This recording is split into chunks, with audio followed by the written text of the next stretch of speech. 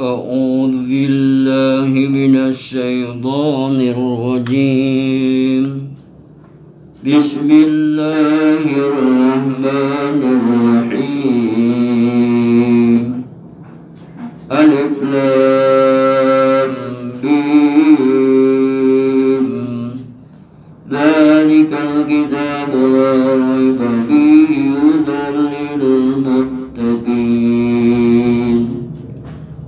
Alif Lam Mim Hanya Allah yang lebih mengetahui maknanya Alif Lam Mim Zalikal kitabu la raiba fihi hudan lil muttaqin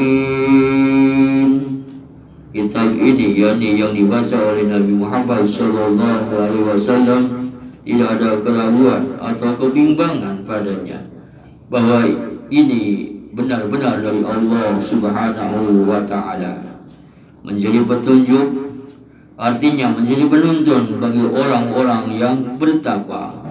Maksudnya orang-orang yang mengusahakan diri mereka supaya menjadi takwa dengan jalan mengikuti perintah Allah dan menjauhi larangan-larangannya demi menjaga diri dari api neraka.